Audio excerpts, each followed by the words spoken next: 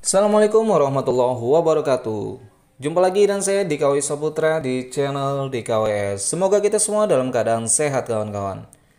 Oke kawan-kawan, di kesempatan kali ini saya akan membagikan cara bagaimana mencairkan saldo yang ada di aplikasi Dana kalian ke rekening bank kalian kawan-kawan Bagaimana caranya? Sebelum itu, dukung terus channel ini agar lebih berkembang dengan cara klik tombol subscribe serta aktifkan loncengnya agar kalian mendapatkan pemberitahuan mengenai video-video terbaru di channel ini. Oke, langsung kita mulai ke tutorialnya. Yang pertama, kita buka dulu aplikasi Dana kita, kawan-kawan.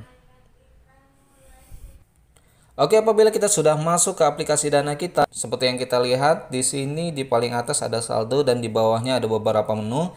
Kita pilih menu kirim. Setelah itu di sini ada beberapa pilihan. Kita bisa mengirimnya ke teman ataupun kita kirim ke bank dan kita bisa tarik tunai langsung. Karena kita ingin mengirimnya ke rekening bank kita, kita pilih yang tengah ya kawan-kawan yaitu transfer ataupun kirim ke bank. Kita pilih. Setelah itu di sini kita pilih bank yang kita gunakan, kawan-kawan. Di sini banyak pilihannya ya kawan-kawan. Kebetulan saya memakai BCA jadi saya pilih yang BCA. Setelah itu kita masukkan nomor rekening bank di sini.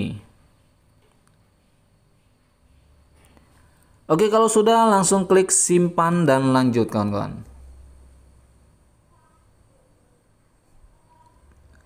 Setelah itu kita pilih ataupun kita ketik jumlah berapa yang kita akan kirimkan ke rekening bank kita kan kan. Kalau sudah klik centang dan di paling bawah langsung saja kita klik bayar.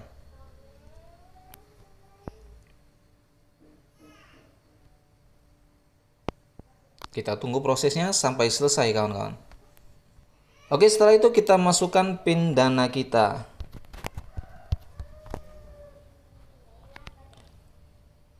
Setelah itu secara otomatis akan terproses dan pembayaran telah berhasil ataupun kita telah berhasil mentransfer saldo yang ada di aplikasi Dana kita ke rekening bank yang telah kita cantumkan tadi kawan-kawan. Kalau sudah langsung saja kita lihat dulu transaksinya ya kawan-kawan, kita lihat Ya, di sini sudah tertera ya kawan-kawan bahwa kita, bahwa kita telah mengirimkan saldo yang ada di Dana ke rekening bank atas nama sesuai dengan rekening yang kita masukkan tadi dengan jumlah sesuai yang kita masukkan juga kawan-kawan. Oke kawan-kawan, cukup mudah kan? Semoga video ini bermanfaat kan kawan dan saya ingatkan lagi jangan lupa untuk klik tombol subscribe serta aktifkan loncengnya agar kalian mendapatkan pemberitahuan mengenai video-video terbaru di channel ini. Dan jangan lupa juga untuk klik tombol like serta bagikan apabila menurut kalian video ini bermanfaat. Terima kasih sampai jumpa di video-video tutorial lainnya. Wassalamualaikum warahmatullahi wabarakatuh.